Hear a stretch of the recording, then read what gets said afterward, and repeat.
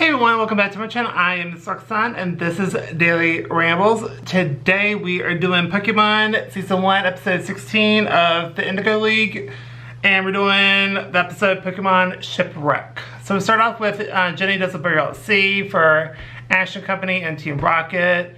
And it was like a very actually emotional scene and I actually really enjoyed it. And then we cut to where Ash and Company are awake and they wake up to at the bottom of the sea and they're basically in between two trenches, like in the middle. Um, so in the middle it's like really raised up and and the ship is upside down and it's tilted. And so if it can become displaced and fall to either side at any moment. Then basically then we cut to where Team Rocket wakes up and I'm from daydreaming, daydreaming on a beach and they kept getting hotter and hotter and that's because they had the burners on them and that's why they woke up. And so Jessie did something very, very, very stupid. She got her Ekans out and used acid on the hull to try to get out and that just created water.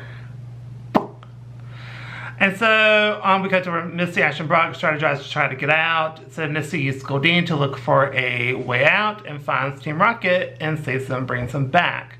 So after they revive them, uh, they decide to battle.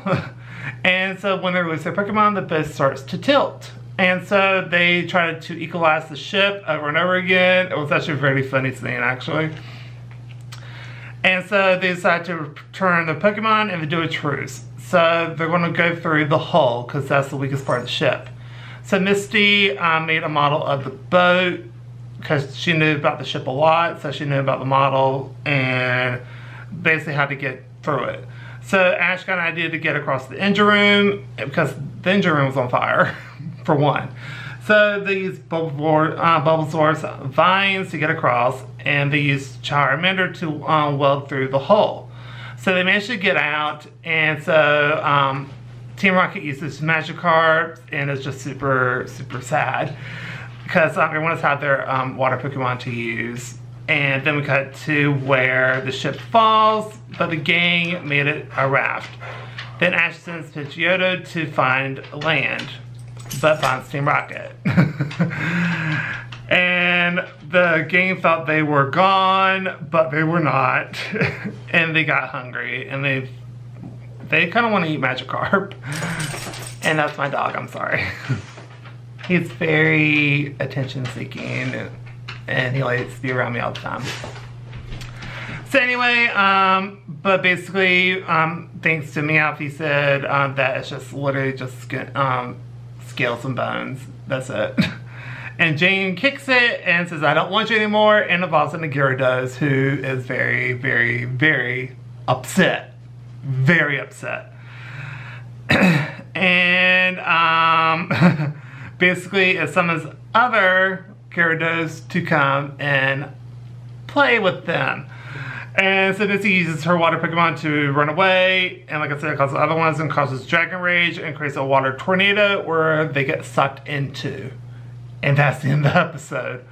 Really good episode. Again, I'm going to have to give this A+. plus. I really enjoyed this episode because we get to see that they're actually working together between Team Rocket and Ash and everyone. So that's actually pretty neat that they actually decided to do that.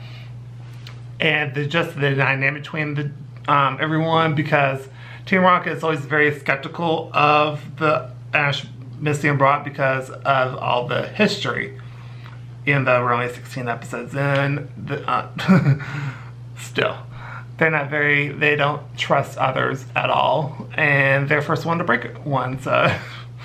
but anyway, I, I, really enjoyed the episode, and that's going to do for this video. So if you like this video, please go to like, comment down below, tell me what you think, do you agree, disagree, just tell me your thoughts down below, and don't forget to subscribe, it helps out the channel a lot, and I'll see you on my next video. Bye everybody.